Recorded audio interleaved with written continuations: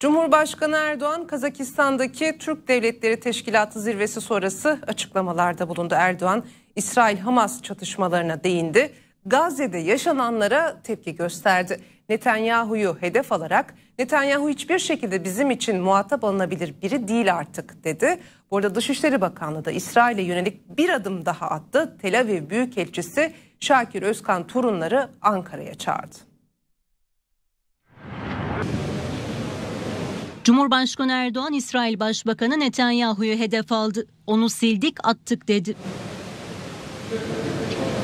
Cumhurbaşkanı Erdoğan Türk Devletleri Teşkilatı Devlet Başkanları Konseyi 10. zirvesi için başkent Astana'daydı. Erdoğan'a Dışişleri Bakanı Hakan Fidan, Enerji ve Tabi Kaynaklar Bakanı Alparslan Bayraktar, Ticaret Bakanı Ömer Bolat, Ulaştırma ve Altyapı Bakanı Abdülkadir Uraloğlu, Türk Devletleri Teşkilatı Aksakallar Konseyi Başkanı Binali Yıldırım, MİT Başkanı İbrahim Kalın, Cumhurbaşkanlığı İletişim Başkanı Fahrettin Altun'da eşlik etti. Erdoğan Kazakistan dönüşü uçakta gazetecilerin sorularını yanıtladı. İsrail-Hamas çatışmalarına dikkat çekerek Türkiye'nin garantör devlet olabileceğinin sinyalini verdi. Gazze'de Türkiye'nin garantör ülke olmasından daha tabii ne olabilir? Yani biz orada da garantör ülke rolünü üstlenebiliriz. Bunun şekli ne olur onu olaylar gösterir. Onu zaman gösterir. Sivillerin öldürülmesine tepki göstererek Netanyahu'yu hedef aldı. Şunu söyleyeyim. Netanyahu hiçbir şekilde bizim için muhatap alınabilir biri değil artık. Onu sildik attık.